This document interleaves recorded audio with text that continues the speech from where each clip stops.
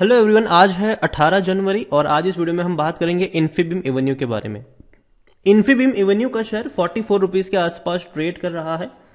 तकरीबन साढ़े आठ परसेंट का ग्रोथ यहाँ पर ज़रूर देखने को मिला है आज के दिन में, लेकिन आज ये 12 से 15 परसेंट की तेज़ी दिखा चुका था ये शेयर रीजन ये था कि भैया बोनस को लेकर बड़ी खबर आई थी और एक झटके में ये फट गया।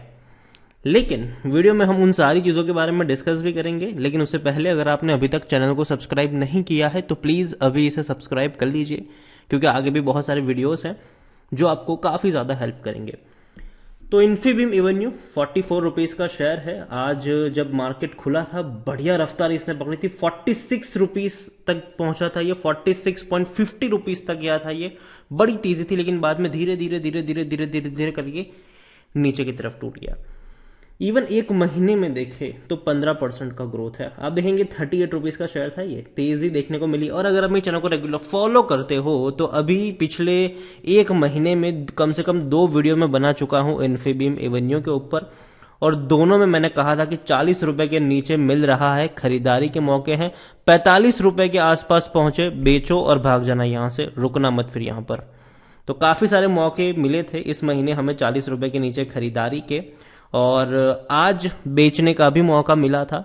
यहाँ पर अगर हम देखें पिछले एक साल में तो आप एक चीज़ को अगर आप एनालाइज कर रहे हो तो आप, आप देखो कि ग्रोथ एक साल में सिर्फ़ सात परसेंट का है लेकिन अप्स एंड डाउन काफ़ी ज़्यादा है। शेयर इससे पहले भी चालीस रुपए के नीचे गया वापस तेज़ी दिखा दी और पहुँच गया पचपन के करीब। वापस शेयर चालीस रुपए तक मतलब उसे नीचे गया थर्टी सेवन के आसपास पहुँचा वापस तेज़ी दिखा दी पहुँच गया पचपन रुपए इस पर। वापस चालीस रुपए से नीचे गया, वापस तेज़ी दिखाई, पहुँच गया पचास रुपए से ऊपर। वापस ये गया उसी लेवल के आसपास और वापस अभी भागने की कोशिश कर रहा है। और अभी बोनस की खबर ने डेफिनेटली यहाँ पर जोश भरा ज़रूर है। खबर के ऊपर जाए तो भैया board of Infibeam Avenue to consider bonus issue and fund raising दोनों चीज़ों को लेकर इनकी मीटिंग होने वाली है। बोर्ड मीटिंग है 31 जनवरी को इनकी बोर्ड मीटिंग है। आज 18 जनवरी हुई है। इकतीस जनवरी को इनकी बोर्ड मीटिंग होने वाली है, जहाँ पर बातचीत करी जाएगी बोनस को लेकर, बोनस इश्यू करने को लेकर, और तो मतलब जो अभी इनके एग्जिस्टिंग शेयर होल्डर्स है, उनके लिए बोनस, ठीक है? The board will also consider अगर हम बात करें तो भैया board will also consider the issuance of the equity share और other securities of the company by way of अगर हम सिंपल भाषा में भैया फंड रेजिंग की बात चल रही है। दो चीज़ों के बारे में डिस्कस होगा बोनस को लेकर और फंड रेजिंग को लेकर। और दोनों ही चीज़ें पॉजिटिव है। लेकिन लेकिन क्या करना चाहिए? तो देखिए, आज के दिन में इसी चीज़ को लेकर तकरीबन इसके वॉल्यूम्स पे भी मैं अगर नज़र करूँ तो तकरीबन साढ़े तीन करोड़ से भी ज़्यादा के वॉल्यूम्स नज़र आए हैं। बड़ी क्वांटिटी में शेयर ट्रेड हुए हैं। बट कैप शेयर है ये, पाँच हज़ार आठ सौ करोड़ से भी ज़्यादा का इसका मार्केट कैप है।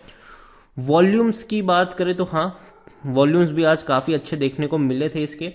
प्रमोटर की होल्डिंग्स की बात करूँ तो भैया प्रमोटर की 31 परसेंट की होल्डिंग ज़रूर है, लेकिन एफ़ ने खरीदारी करी है दिसंबर क्वार्टर में 7.13 परसेंट की होल्डिंग 7.59 परसेंट है।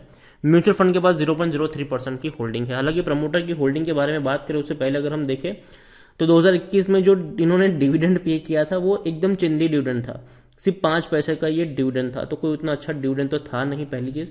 कंपनी की ये वेबसाइट है इनफीबीम एवेन्यू की अगर हम बात करें तो इन शॉर्ट कंपनी करती क्या है? कंपनी जो एक ब्रिज होता है, ठीक है? पेमेंट अगर आप करते हो तो भैया आप कार्ड से पेमेंट करते हो, ऑनलाइन पेमेंट करते हो तो बीच का जो ब्रिज होता है, और जो ब्रिज होता है, वो है ये। इन शॉर्ट कंपनी क्या करती है कि मान लीजिए इनके कई सारे सीसी एवेन्यू हो गया बिल एवेन्यू हो गया तो ये सीधा इंटीग्रेट करते हैं सीधा। डिजिटल प्लेटफॉर्म्स वगैरह जो होते हैं पेमेंट सोल्यूशन प्रोवाइडर आप मान के चलिए इनको। सीसी एवेन्यू अगर आप कई बार पेमेंट भी करते हैं तो आपको देखने को मिलेगा बिल एवेन्यू सीसी एवेन्यू तो ये इन्हीं का सॉफ्टवेयर सोल्यूशन होता है, जिसके ज़रिए कंपनी जो होती है, वो आपको ऑनलाइन पेमेंट करने में हेल्प करती है डिजिटल पेमेंट करने में आपको हेल्प करती है। इन्फीबीम के बारे में अगर हम देखें तो according to Moneycontrol user 20 percent लोग बेचने की बात कर रहे हैं 78 परसेंट लोग खरीदने की और 2 परसेंट लोग होल्ड करने की नसीहत आपको दे रहे हैं। यहाँ पर इनके रेवेन्यू लगातार टूट रहे थे। अब 2017 से लेकर 19 तक बढ़िया रेवेन्यू थे। 440 करोड़ के रेवेन्यू 1160 करोड़ तक पहुँचे। लेकिन 20 में रेवेन्यू टूट गया 630 करोड़ रहा। अब बाद में 21 में बढ़ के 675 करोड़ रहा, जो कि अगेन अच्छी बात है। और प्रॉफिट में भी सेम चीज़ हुई है। तेज़ी आ रही थी, टूट गया, वापस थोड़ी बहुत तेज़ी दिखा दी है। अभी अगर हम बात करें, जो दो क्वार्टर के इनके रिजल्ट्स आए हैं रेवेन्यू उतने ही है। रेवेन्यू आप जो देख रहे और रेवेन्यू में एक्चुअली थोड़ा सा इजाफा ज़रूर हुआ है। 2022 में जो दो क्वार्टर के रिजल्ट्स आए हैं, उनके रेवेन्यू ऑलमोस्ट आपको साढ़े पाँच सौ करोड़ तक देखने को मिल रहे हैं। मतलब इसी तरह रफ्तार से बढ़ेंगे तो हज़ार करोड़ के तो रेवेन्यू आराम से हो ही जाएँगे। और बात करें अगर प्रॉफिट की तो जो 61 करोड़ का प्रॉफिट हुआ था 2021 में तो इस बार का जो प्रॉफिट होगा, वो दो क्वार्टर में ऑलरेडी ऑलरेडी इनका जो प्रॉफिट है, वो 32 से 33 करोड़ का हो चुका है। तो हालाँकि इसी रफ्तार से बढ़ेंगे भी तो भैया उतना बड़ा प्रॉफिट नहीं होगा, लेकिन हाँ यह है कि पिछले साल के मुकाबले थोड़ा सा ज़्यादा होगा, लेकिन रेवेन्यू में बढ़िया उछाल है, ये एक अच्छे संकेत है। इन्फीबीम को लेकर देखें तो खरीदारी करने का सही मौका है, क्योंकि शायद ओवरबोर्ड जोन में नहीं है, कोई भी रेड फ्लैग नज़र नहीं आ रहा है। अगेन कह दू, देखिए लॉन्ग टर्म का शेयर नहीं है ये, ठीक है? अगर आप ये मान के चल रहे हो कि भैया लॉन्ग टर्म में पैसा बनेगा तो यहाँ पे लॉन्ग टर्म की खरीदारी करने की गलती मत करना। इसको चालीस रुपए के नीचे खरीदो, पैंतालीस पचास पे जाए, बेचो और भाग जाओ। ये स्ट्रेटेजी मेरे हिसाब से काम करेगी। लॉन्ग टर्म का शेयर ये बिल्कुल भी बिल्कुल भी नहीं है। आप देख सकते हो कि जब पैंतालीस रुपए तक पहुँच गया तो भी इसका जो पी रेशियो है वो सेवेंटी फाइव का है, जो कि सेक्टर पी फोर्टी टू से ज़्यादा का है। हंड्रेड परसेंट एनालिस्ट आपको खरीदारी करने की सलाह दे रहे हैं, जो कि मैं मानता हूँ कि सही भी है, लेकिन मेरे हिसाब से जो खरीदारी के मौके बनेंगे, वो चालीस रुपए के नीचे बनेंगे। उससे ऊपर मैं इसको खरीदना उतना ज़्यादा पसंद नहीं करूँगा, क्योंकि अगर आप देखेंगे पाँच साल का भी अगर आप ग्राफ देखो तो यहाँ से ये टूट के नीचे आया था। बीस रुपए तक गया, वापस अच्छी खासी रफ्तार इसने पकड़ी ज़रूर है और चालीस रुपए का स्ट्रांग सपोर्ट भी नज़र आता है। वहाँ तक कई बार इसने अपने आप को सस्टेन किया है मेंटेन किया है। लेकिन मैं बात करूँ भैया कि मुझे पचास रुपए का जो लेवल है, वो थोड़ा सा परेशान कर रहा है, पैंतालीस से पचास का लेवल वो खरीदारी की मुझे लगता है कि वहाँ पर रिस्क ज़्यादा है रिवॉर्ड कम है। मैं मानता हूँ कि ये जो बोनस की बात है, ये बहुत अच्छी बात है, ठीक है। फंड रेजिंग की बात और भी अच्छी है। लेकिन आपको बता दें कि कंपनी ने जो बोनस है वो अभी 2021 में भी पे किया था। पिछले साल ही पे किया है, फरवरी महीने में। अभी एक साल भी नहीं हुआ है इस चीज़ को। और दोबारा कंपनी बोनस दे रही है और कंपनी का शेयर कोई उतने बड़े प्राइस पे ट्रेड नहीं कर रहा है, ठीक है? तो मैं यही कहूँ, और इवन जब इन्होंने बोनस दिया था तो बोनस देने के बावजूद भी अगर हम देखें तो शेयर प्राइस में आपको गिरावट ही देखने को मिली है। ज़्यादा तेज़ी नहीं आई है, टूटा ही है ये। तो अभी के लिए मैं कहूँगा, देखो, मुझे कंपनी पसंद आती है, इसमें कोई शक की बात नहीं है। एनफी भी मुझे पसंद आता है, लेकिन ये ये मुझे पसंद आता है स्विंग ट्रेडिंग के लिए। मैं चालीस से नीचे खरीदता हूँ, पैंतालीस, पचास के आसपास मैं बेचता हूँ और भाग जाता हूँ यहाँ से।